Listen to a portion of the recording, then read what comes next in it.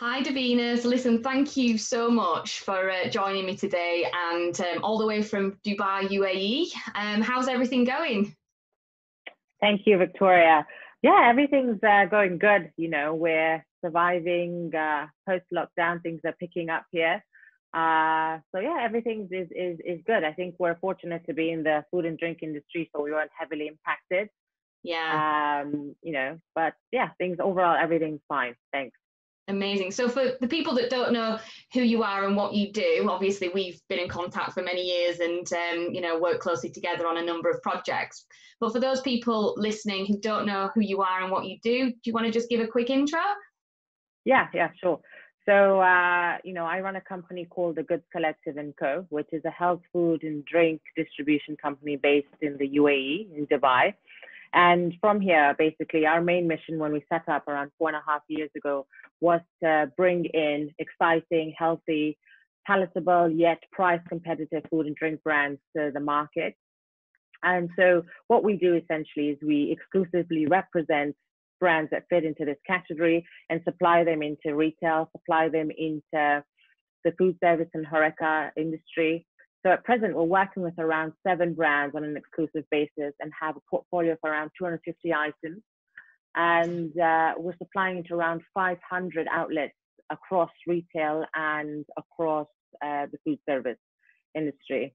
Um, and yeah, that's sort of what we do in a nutshell. We we try and be a little bit different in, in our offering as well, where we go the extra mile for our brands. You know, we participate in a lot of community-based events we go and uh, do a lot of after sales support.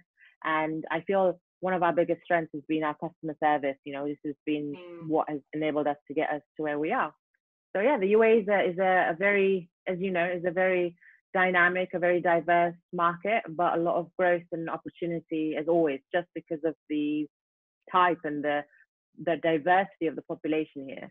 Yeah, it's a great place for doing business. And over the years, like you say, having worked there myself and obviously working with different clients and brands also, it's it is a really good place to do business. It's a great starting point also for people that are looking at the wider Middle East or the Gulf region to enter as exactly. well. Like you say, that diversity of consumers, expats, um, it's a really rich place and there's pl- there are plenty of opportunities um, that I'm seeing and even with the work I'm doing obviously at the moment from home and remote working we're still getting plenty of deals done and opportunities that we're finding um, from buyers and distributors like you say like yourselves. Um, so in terms of what you've seen um, recently as, as emerging trends um, from a health and wellness perspective this year especially I guess with COVID what are you seeing as the main kind of hot um, categories and trends on the health and wellness side? I think uh, if we're talking about the UAE specifically, over the last uh, two years, we've uh, seen an explosion, I think, in everything vegan. You know, we've, we never had vegan restaurants. Now they're, they're easily, you know, in, in, in the major sort of areas in Dubai and in Abu Dhabi. And a lot of the traditional places, restaurants, coffee shops that would never offer I guess vegetarian and vegan uh, options now. You know, it's very very common to find these. So I feel even before the pandemic, the vegan wave and everything about sort of veganism and uh, dairy alternative was growing, but post pandemic, people have obviously become a lot more health conscious. You know, they're more conscious of what food they're eating, the ingredients, where especially where the origin is from. People are a lot more cautious of, of products maybe coming from somewhere like Asia versus somewhere like Europe. Mm. Um, so I feel definitely what's what's trending now is is everything more vegan and of course organic, free from is is still definitely trending, but veganism more. And anything because of the pandemic as well, anything that relates to immune boosting and, and sort of yeah. protecting one's health, whether it's to do with manuka honey or turmeric or yeah. um, added vitamins is, is definitely something that is trending. But overall, I feel people are a lot more conscious. So people are taking the time to understand what they're buying and what they're consuming. Yeah. So yeah. It's, it's a great time for anything health.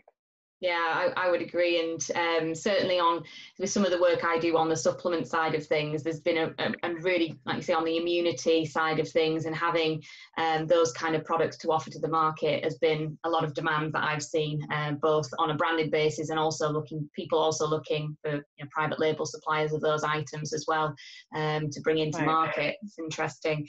So, like you say, hot in those areas um, particularly. But then if we think about in terms of doing business um, within the UAE and how to kind of enter the market, from your experience, um, what would you say are the, the key success factors for brands that and manufacturers that are trying to enter the UAE?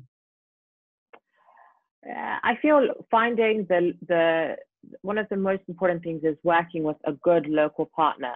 There's definitely a lot of um, routes to, to market into into the UAE, but if you were to find a good local partner, you just get the added advantage of actually building the brand and creating that brand awareness, which won't necessarily happen if you were to just maybe supply directly into the market via maybe working with the retailer directly, for example.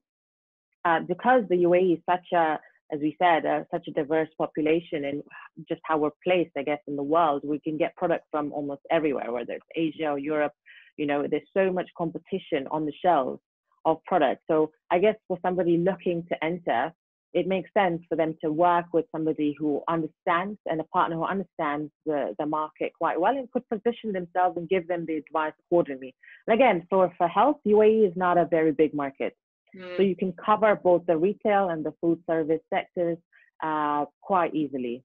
Yeah, Oh, yeah, definitely. And like you say, understanding it is a competitive, whilst it's great opportunities, there's also, it's a competitive marketplace. So getting in with the right people on the ground or your right route to market that works for the brand owners is, is key. And yeah, you know, you, I, I've seen, and you're the same, a lot of brands that have kind of unfortunately you know not taken the right advice not done their own due diligence um, and vetting the people yeah. that they have a particularly when they're approached um, from you know incoming inquiries and working on a more reactive basis you know they can often start supplying in um, through the wrong channels the wrong fit um, and it can all kind of unfortunately come tumbling down sometimes which is is always a, a shame when they've got great products so i think yeah. understanding and looking at the market and making sure you're, you're vetting the people that you're having the conversations with and sometimes looking beyond the opportunities that's presented just there and then as well and seeing is there anybody else that might be a better fit um, that, that, that could work better in the marketplace when there's clearly an opportunity. Yeah. Exactly exactly. But i think the um the, the other thing is this is you said you have to be able to people who are looking to enter this market it's very different from europe and the way other countries work uh, they have to be able to understand uh, this market, you know, understand the population, the size, who you're targeting. Yeah, and also the culture, the cultural side of it. Whilst there's a lot of diversity as well, it's also because within that, then how to um, do business just in general. You know, you're dealing with lots of different nationalities and cultures um, within the market, and it's not always the same as you know the your normal ways of working in your home market. That's for sure. And in terms of expectations, communication, um, the way that business is done. You know that that I think as well is another key um, factor that brands I think need to consider um, and be flexible and open-minded about as well. You know, trying to do things yeah. the way they have back home or in the in some of the more maybe culturally closer um, markets is not necessarily going to um, going to work um, in yeah. the way. So, and, um, and the, the way I the way I say it to um, suppliers or to brands is it's very easy to get maybe the initial order going, and I'm sure you'd agree. Yeah. Uh, and possibly maybe the second order, but then to see if you're going to get orders after that is, is I think the actual test, and to see if the product will actually stay on shelf. Because it's easy actually. It's not not easy, but it's relatively easier to get the product on shelf. But to, for the products and your brands to actually be able to sustain in such a competitive uh, retail environment is, is I think what the brands would need to consider. Yeah, definitely, definitely so. And like you say, it is competitive. So the way that they approach it, the right people, the pricing structure as well, um, you know, being being flexible in all those aspects is is really really important. Um, in terms of again, obviously getting into the market and getting on shelves is one thing. Um, a few other things that maybe is worth mentioning in terms of appreciating how to get products in i guess you know things that around labeling and documentation um, if you get any advice advice on that or any tips?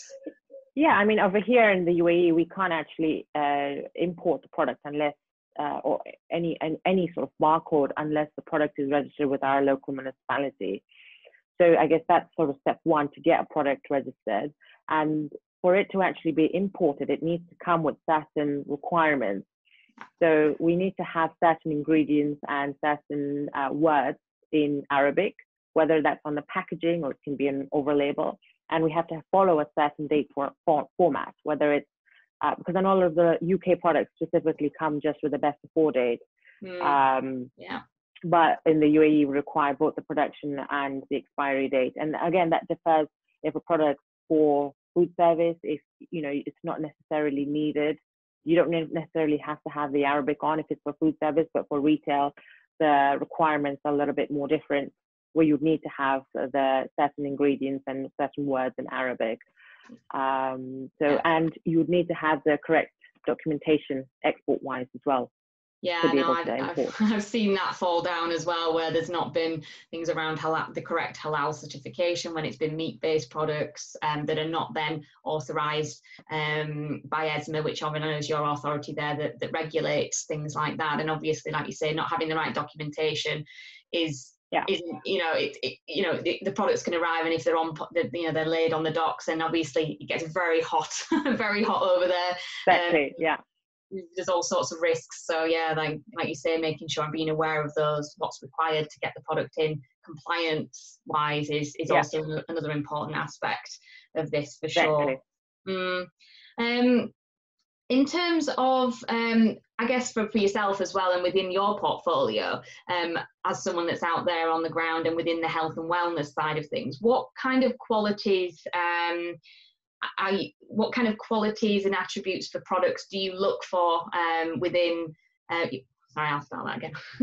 um, so, in terms of within you, within within your portfolio, when you're selecting a supplier or a brand, um, what kind of qualities do you look for um, when when making that selection process?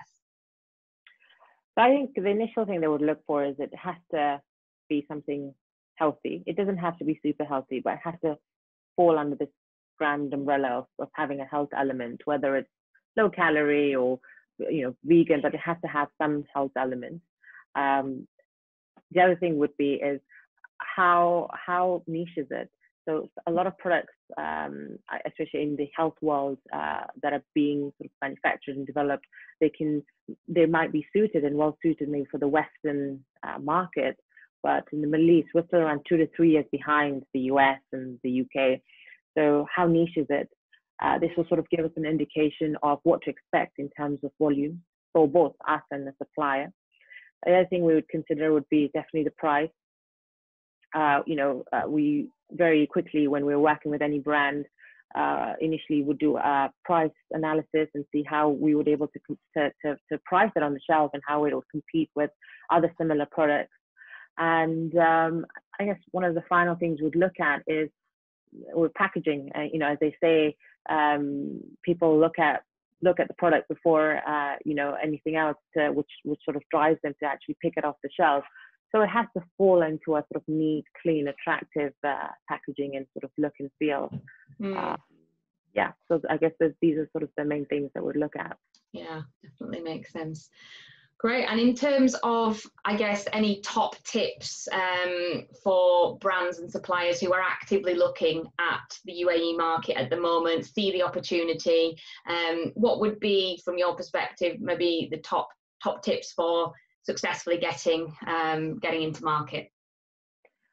I always say to, to any brand and even to the current suppliers that we're working with or potential suppliers, the number one is try and understand the market before you, uh, you, it's not it doesn't the way that it works in the uk the way it works in europe the market here is very very different you know it all comes down to we have such a as i said and i'm repeating we have such a diverse range of populations so trying to understand the size who you're actually targeting uh, and this will give you an indication of whether your product uh, you know, has the ability to, to give you enough volume, you know, to, to mm-hmm. even then have to, to have that conversation with your partner before actually even demanding certain volumes of them. So understand, try and understand whether it's you work with people like yourselves or work with, um, you know, coming with work with a, a, a local partner closely or coming on ground and analyzing yourself, but try and get an understanding of the market first before um, you know jumping the gun, as they say. Because a lot of, um, I think a lot of of uh, retailers would would probably approach brands directly, mm. and um, I mean, there's no there's no harm in, in exploring it, but I will say before you do that, try and understand what you're getting into. Yeah definitely definitely and, also like you say i think sometimes being realistic that you know yes there are opportunities but the size of the opportunity may not be as big as you know yeah. they, they, sometimes think it's going to be. Um you know if you were looking at the wider gulf you know it'd be the volumes are gen- generally you know maybe in other places but then the opportunity might not be as big either. So it's kind of that trade-off isn't it between size of opportunity the, the type of market and the right shoppers and consumers or food mm-hmm. service channels that would would obviously warm to your product and and you know be willing to to work on it take it in and and build it so yeah okay yeah that's really exactly. helpful brilliant well listen thank you so much davina for your time and you know your expertise and and sharing with us obviously top tips and everything that's going on in the UAE side of things at the moment. So thank you very much. And um, I no hope worries. I hope as soon as I can get back over there and uh, come and see you again and be in the market, then I certainly will and look forward to seeing you very soon. No worries, Victoria. It's always a pleasure talking to you. And yes, we look forward to having you in hot, sunny Dubai very soon. I cannot wait. All right, Davina. Okay. Thanks. Take care.